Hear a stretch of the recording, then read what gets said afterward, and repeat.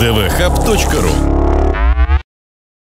Хотел бы сказать, что а, вопрос духовного образования школы, он не сказать, что он, скажем так, поверхностный, интимный, потому образование школы должно быть, э, должно оказывать воспитательную роль э, на основе наших человеческих ценностей.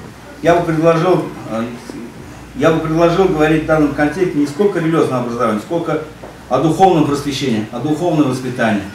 Это, кстати, идет в строгом соответствии с принципами, подходами Евразийской философской исследовательской школы. Яркими примерами и представителями были Целковский, Вернадский, Ильин, Толстой, ну и многие другие, которые могли быть примером для нашего духовного воспитания.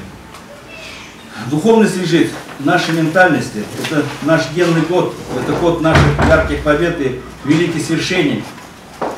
Все, что мы делаем в жизни, не ради чего-то, а во имя и во славу. Ведь тогда это было и 300 лет назад, это было 200 лет назад, и сейчас это происходит. И это есть, является великой формулой нашей а, счастья российского народа.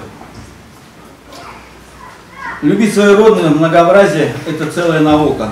И то духовное просвещение, которое сейчас делается и нашим государством, очень много программ, и непосредственно федеральными университетами на, на территории России.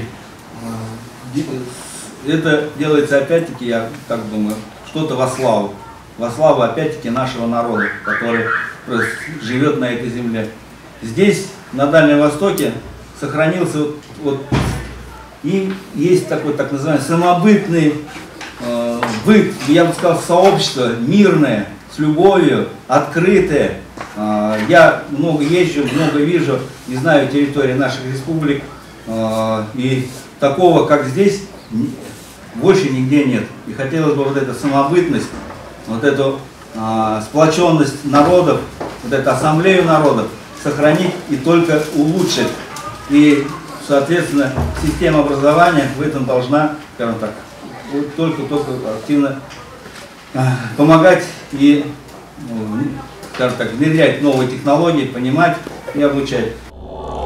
dvhub.ru